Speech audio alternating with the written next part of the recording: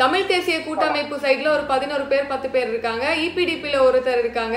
இப்ப இவங்க எல்லாம் யாருக்கு ஆதரவு தெரிவிக்கிறாங்கன்னு சொல்லி கொஞ்சம் வெளிப்படையா சொல்ல முடியுமா? பல முறை சஜித் பிரேமதாசாவுக்கு பிரதம மந்திரி ஏற்றுக்கொள்ளுமாறு அழைப்புகள் வந்த போதிலும் பல தருணங்களில் அதை விட்டு நழுவினார். சஜித் பிரேமதாச ஆக மொத்தத்துல ஒரு மிகப்பெரிய பகிரத பிரயத்தனத்தை தான் எடுத்திருக்காருன்னு சொல்லலாம் இல்லையா? சஜித் அவர்களுடைய கட்சி இப்படி ஒரு முடிவு எடுத்துச்சான்னு தெரியல.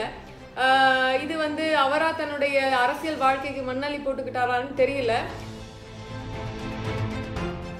இப்போது அரசியலில் நடைபெற்றுக் கொண்டிருப்பது மக்களுக்கான போராட்டம் அல்ல. இது தமது அரசியல் இருப்புகளையும் தமது அரசியல் அதிகாரத்தையும் தக்க வைப்பதற்கான போராட்டம்.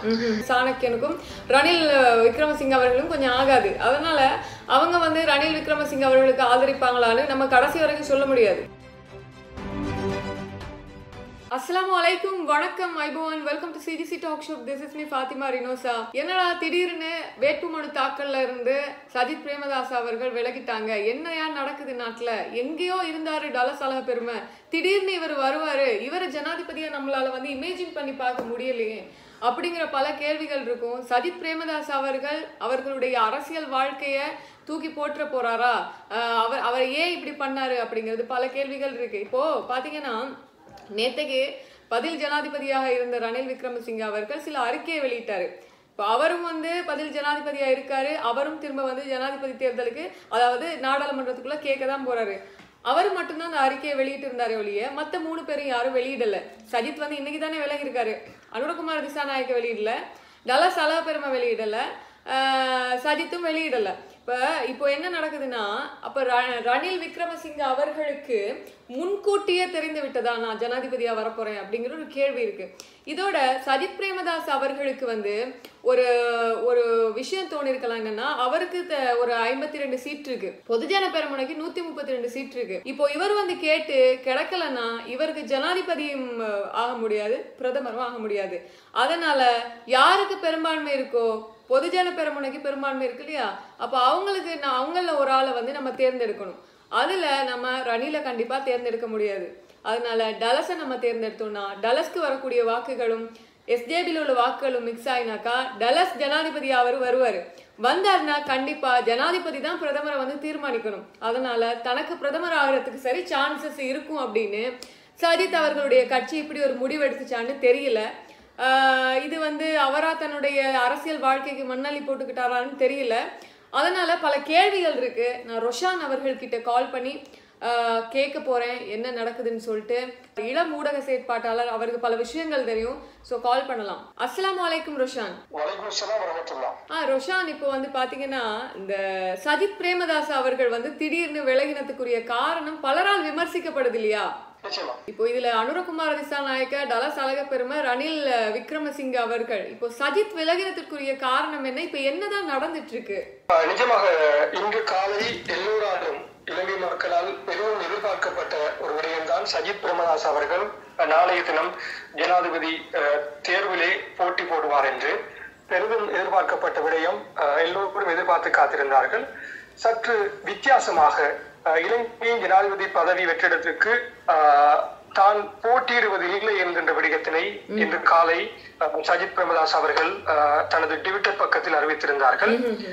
ஜனாதிபதி பதவிக்கான வேட்புமனு வாபஸ் பெறுவதாகவும் இவர் தெரிவித்திருந்தார். நான் நேசிக்கும் எனது நாட்டுக்கும் நான் நேசிக்கும் மக்களின் நலனுக்காகவும் நான் ஜனாதிபதி பதவிக்கான எனது வேட்புமனுவை இதன் மூலம் திரும்ப பெறுகின்றேன் எனவும் எங்கள் கூட்டணி மற்றும் எங்கள் எதிர்க்கட்சி பங்காளிகள் வெற்றி பெற கடுமையாக உழைக்க வேண்டும் எனவும் பாராளுமன்ற உறுப்பினர் சஜித் பிரேமதாசா தெரிவித்திருந்தார். இலங்கையின் பொருளாதார நெருக்கடி காரணமாக கோட்டாபய ராஜபக்சவுக்கு எதிரான மக்கள் எழுச்சி காரணமாக அவர் ராஜினாமா செய்ததை தொடர்ந்து ஜனாதிபதி பதவி இப்போது காலியாகி இருக்கிற இந்த சூழலில் இன்று காலை கூடிய விசேட பார்லமெண்ட் அமர்வின் போது பேருடைய பெயர்கள் பரிந்துரைக்கப்பட்டிருந்தது. குறிப்பாக ஸ்ரீலங்கா பொதுஜன பிரமுனவின் அஹ், டலஸ் அழகப்பெரும எதிர்க்கட்சி மற்றும் சமகி ஜனபலக கட்சியுடைய தலைவர் சஜித் பிரேமதாசாவினால் முன்மொழியப்பட்ட நிலையில் ஸ்ரீலங்கா பொதுஜன பிரமுனவின் பார்லமெண்ட் உறுப்பினர் ஜி எல் பீரிஸ் அவர்கள் உறுதிப்படுத்தியிருந்தார். அதுபோல பதில் ஜனாதிபதி ரணில் விக்ரமசிங்க ஸ்ரீலங்கா பொதுஜன பிரமுனவின் தினேஷ் குணவர்த்தவினால் முன்மொழியப்பட்டதுடன் பார்லமெண்ட் உறுப்பினர் மனுஷ நாணயக்காவினால் அஹ், ஆதரவளிக்கப்பட்டு அவரும் போட்டியிடுவதாக அறிவிக்கப்பட்டது. அதனைத் தொடர்ந்து ஜேவிபி தலைவர் அனுரகுமார திசாநாயகவை தேசிய மக்கள் சக்தியின் பார்லமெண்ட் உறுப்பினர் விஜித ஹேரத் முன்மொழிய அதை பார்லமெண்ட் உறுப்பினர் ஹரிணி அமரசூரிய ஆதரவளித்திருந்தார். ஆஹ் குறிப்பாக நாளைய தினம் எல்லோராலும் எதிர்பார்க்கப்படுகின்ற பாராளுமன்ற அமர்வு நாளை காலை இருபதாம் தேதி இடம்பெற போகிறது. அதிலே ரகசிய வாக்கெடுப்பு ரகசியமாக அந்த வாக்கெடுப்பு இடம்பெற போகிறது. நாளை தான் தெரிய போகிறது இலங்கையினுடைய புதிய ஜனாதிபதி யார் என்கின்ற கேள்வி எஞ்சியிருக்கின்ற இரண்டு அல்லது இரண்டரை வருடங்கள் ஆட்சி செய்ய போகின்ற அந்த ஜனாதிபதி யார் என்கின்ற கேள்வி நாளைய தினம் இருக்கிறது. நான் நினைக்கின்றேன் பெரும்பாலும் பொதுவாக பேசப்படுகிறது சஜித் பிரேமதாஸ் அவர்கள். பிரதமர் பதவிக்கு தான் நியமிக்கப்பட வேண்டும் என்கின்ற ஒரு முன்மொழிவுடனே அவர் இந்த ஜனாதிபதி போட்டியிலிருந்து விலகி இருப்பதாக சொல்லப்படுகிறது பத்தொன்பதாவது திருத்தத்தினை பார்லிமெண்டத்தில் கொண்டு வந்து டலஸ் அழக பெருமை ஜனாதிபதியாக இருக்கிற அதே சூழலில் பிரதம மந்திரியாக சஜித் பிரேமதாசா நியமிக்கப்பட வேண்டும் என்ற ஒரு கோட்பாட்டின் கீழ்தான் இந்த விடயம் அரங்கேற்றப்பட்டிருக்கிறது என்கின்ற இடத்தில் ரோஷான் இப்ப. நான் கேக்குற ஒரு கேள்வி என்னன்னா இப்ப இப்படி ஒரு கோட்பாடு வரும் பொழுது அந்த கோட்பாடு நழுவி போனா சஜித் அவர்களுடைய கட்சியின் எதிர்காலம் எப்படி இருக்கும்? நிச்சயமாக மிக ஒரு கடுமையான ஒரு பல பரீட்சையினை எதிர்கட்சி தலைவர் சஜித் பிரபாசா இப்போது எதிர்கொண்டிருக்கின்றார். சற்று முன்னர் ஸ்ரீலங்கா பொதுஜன பிரமணவருடைய பார்லமெண்ட் உறுப்பினர். பொதுஜன பிரமணவருடைய தலைவர் ஜி எல் பீரிஸ் அவர்கள் ஒரு கருத்தினை வெளியிட்டிருக்கின்றார்கள். செய்தியாளர்களிடம் அவர் பேசியிருந்தார். இலங்கையின் பிரதமராக எதிர்கட்சியும் சமகி ஜனபலவினுடைய தலைவருமான சஜித் பிரமதாசாவை நியமிப்பதற்கான ஆணையில் ஸ்ரீலங்கா பொதுஜன பிரமுன இருப்பதாக சொல்லியிருக்கின்றார். நாட்டின் நிலவுகின்ற பிரச்சனைகளுக்கு தீர்வு காண்பதற்கு தற்போது சர்வகட்சி அரசாங்கமே முன்னோக்கி செல்லும் ஒரே வழி இந்த வழிமுறை மாற்றத்துக்கான தேவையாக இருக்கிறது. எவ்வாறாயினும் ஸ்ரீலங்கா பொதுஜன பிரமுனவுக்கு பிளவு இல்லை என்பதை தான் உறுதிப்படுத்துவதாகவும் ஜி எல் பீரிஸ் தெரிவித்திருக்கிறார் ஜனாதிபதி தேர்தலில் போட்டியிடும் எந்த ஒரு வேட்பாளருக்கும் ஆதரவாக குரல் கொடுக்க கட்சி உறுப்பினர்கள் சுதந்திரமாக இருப்பதாகவும் தெரிவித்திருந்த கருத்தினை பதிவு செய்ய வேண்டும். இன்று பாராளுமன்றத்தில் ஜனாதிபதி தேர்தலில் போட்டியிடும் இரண்டு வேட்பாளர்களை ஸ்ரீலங்கா பொதுஜன பிரமுக ஆதரித்ததை அடுத்து பேராசிரியர் ஜி எல் இந்த கருத்தினை பதிவு செய்திருக்க பாராளுமன்ற உறுப்பினர் தினேஷ் குணவர்த்தனவின் ஆதரவுடன் ஸ்ரீலங்கா பொதுஜன பிரமுன கட்சி ஒன்று ரணில் விக்ரமசிங்கவை நியமித்தது நியமித்ததன் பேரில் ஜி எல் பீரிஸ் தற்போது சஜித் பிரேமதாசாவோடு இணைந்து டலஸ் அலப்பெருமை டலஸ் அழகப்பெருமையை நியமித்திருக்கின்றார். நீங்கள் கேட்ட கேள்வி சஜித் பிரேமதாசாவுக்கான எதிர்காலம். குறிப்பாக இப்போதைய சூழலில் சஜித் பிரேமதாசா இதை ஒரு தீர்க்க தரிசனமாக எடுத்ததாக அவரது கட்சி பார்லமெண்ட் உறுப்பினர்கள் தெரிவித்துக் கொண்டிருக்கின்றார்கள். இருந்தும் சமூக வலைதளத்தில் அதிகமாக விமர்சனத்துக்குள்ளாகி இருக்கிறது சஜித் பிரேமதாசா இந்த ஜனாதிபதி போட்டியில் பங்கு கொண்டிருக்கலாம் என்று எதிர்பார்க்கப்பட்டாலும் நான் நினைக்கின்றேன் சஜித் பிரேமதாசாவுக்கு அந்த எதிர்க்கட்சி ப- உறுப்பினர்கள் மாத்திரமே பாராளுமன்றத்தில் இருக்கிறார்கள். மூணில் இரண்டை காட்ட முடியாத ஒரு சூழலின் காரணமாகவே டலஸ் அழகபிரகம் அவர்கள் இணைந்து தமது உறுப்பினர்களது வாக்குகளையும் டலஸ் அழகப்பெருமவுக்கு சார்பான வாக்குகளையும் இணைத்து பார்லமெண்டத்தில் மூணில் இரண்டு பெரும்பான்மையை வழங்குவதற்கு முயற்சி செய்திருக்கலாம் இதனைத் தொடர்ந்து பிரதம மந்திரியாக தான் வரலாம் என்கின்ற ஒரு ஆசையின் பேரில் தான்.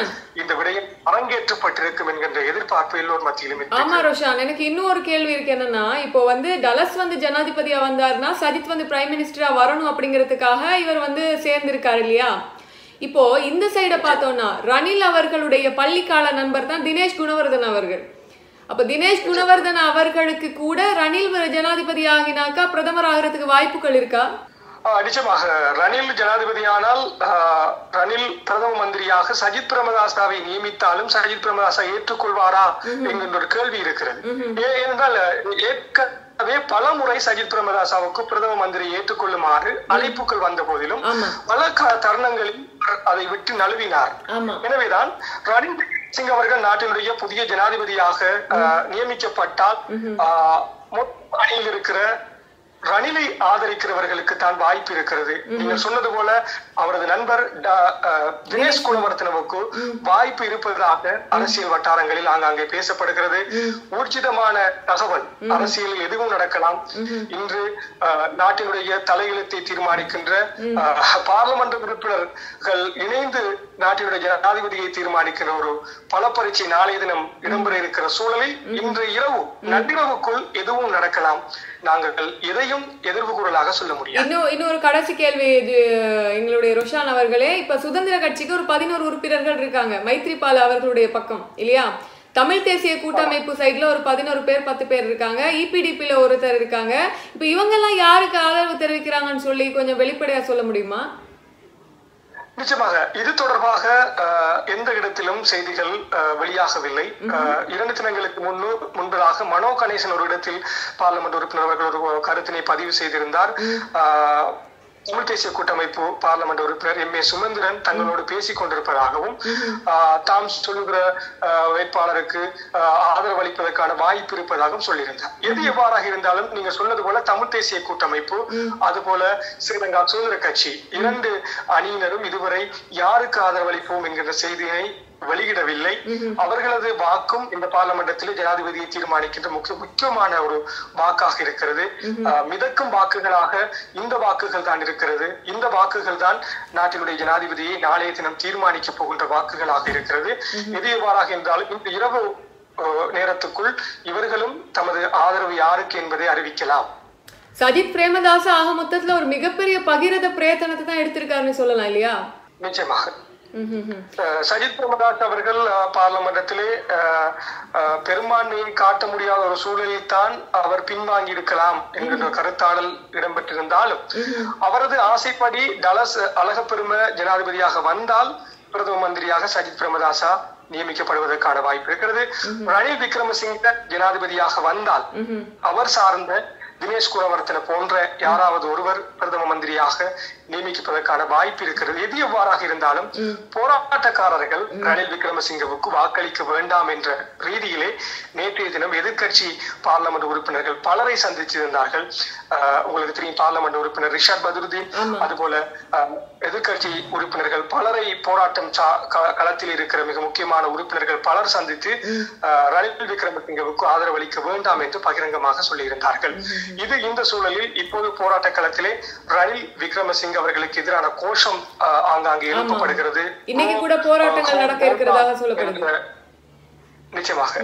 கோஹோம் கோட்டா என்ற தொனி மாறி இப்போது கோஹோம் ரணில் என்கின்ற போர்வையிலே போராட்டக்காரர்கள் இப்போது போராட்டத்தினை முன்னெடுத்துக் கொண்டிருக்கின்றார்கள். என்னை பொறுத்த மட்டில் இப்போது அரசியலில் நடைபெற்றுக் கொண்டிருப்பது மக்களுக்கான போராட்டம் அல்ல. இது தமது அரசியல் இருப்புகளையும் தமது அரசியல் அதிகாரத்தையும் தக்க வைப்பதற்கான போராட்டம். இது இந்த பார்லமென்ற அமர்விலே நாளைய தினம் இருக்க அமர்விலே ஜனாதிபதி பிரதமர் தீர்மானங்களுக்கு அப்பால் ஒரு சர்வகட்சி அரசாங்கம் அமைய போகிறது. இந்த சர்வகட்சி அரசாங்கம் என்பது தொடர்ந்தும் மக்களுக்கான அரசாங்கம். மக்களது கைகளில்தான் இந்த ஆட்சி இருக்கிறது. அமைய போகின்ற இந்த இரண்டரை வருட ஜனாதிபதி பிரதமர் ஆசனமாக இருந்தாலும் அந்த ஆசனமும் இரண்டரை வருடங்கள் மக்களின் கைகளில் இருப்பது ஊர்ஜிதப்படுத்தப்பட்ட விடயம். மக்கள் தான் தீர்மானிப்பார்கள் என்ற விடயத்தினை ஞாபகப்படுத்துகின்றேன். குறிப்பாக நாட்டினுடைய தலையெழுத்தினை தீர்மானிக்கின்ற நாளைய பார்லமெண்ட் அமர்வு நாட்டினுடைய சுபிட்சத்தை நோக்கிய எதிர்காலத்தை வலுப்பெற போகின்ற நாட்டினுடைய பொருளாதார பிரச்சனையை இல்லாமலாக்குகிற ஒரு தெரிவாக அமைய வேண்டும் என்று எல்லோருக்கும் பொதுவான இறைவனை பிரார்த்தித்து விடைபெறுகின்றேன். நன்றி நன்றி. மிக்க நன்றி ரோஷான். மிக்க நன்றி. ஸோ இதுதான். இப்போ நைட்டுக்கு தான் தெரியும் என்ன பாடுன்னு சொல்லிட்டு நாளைக்கு வந்து ஈவினிங் நமக்கு தெரிஞ்சிரும். அஹ் இப்போ ஒரு சில கட்சிகள் வந்து வெளிப்படையா சொல்ல மாட்டாங்க. இப்போ தமிழ் தேசிய கூட்டமைப்புக்கும் வந்து கூட்டமைப்பில் உள்ள நாடாளுமன்ற உறுப்பினர் சாணக்கியனுக்கும் ரணில் விக்ரமசிங்க அவர்களும் கொஞ்சம் ஆகாது. அதனால அவங்க வந்து ரணில் விக்ரமசிங்க அவர்களுக்கு ஆதரிப்பாங்களான்னு நம்ம கடைசி வரைக்கும் சொல்ல முடியாது. அதோட தமிழ் முற்போக்கு கூட்டணி வந்து சொல்லியிருக்காங்க. மனோ கணேசன் ஐயா அவர்கள் சொல்லிட்டாங்க. நாங்கள் டலஸ் அவர்களுக்கு வந்து ஆதரவு தெரிவிப்போம்னு. இதுக்கு இடையில எனக்கு ஒரு டவுட் எப்படின்னா டலஸ் அழகப்பெருமா அவர்களை வந்து எஸ்ஜேபி பக்கம் சாய வச்சு அப்படி ஒரு அப்படி ஒரு இமே இமேஜினேஷனை வந்து மக்களுக்கு கொடுத்தாக்கா ஒருவேளை இந்த பக்கம் வந்து வாய்ப்புகள் கிடைக்கும். ரணில் அவர்களுக்கு வாய்ப்புகள் கிடைக்கும் அப்படின்னா மக்கள் நம்பிடுவாங்க. தலசலா அழகப்பெருமா அவர்களுடைய வாக்கும் எஸ்ஜேபிக்கு தான் போகும் அப்படின்னு சொல்லிட்டு ரணிலை கைவிட்டுருவாங்கன்னு சொல்லுவாங்க. ஸோ வில் சி நைட்க்கு இன்னொரு வீடியோவில் சந்திக்கிறேன்.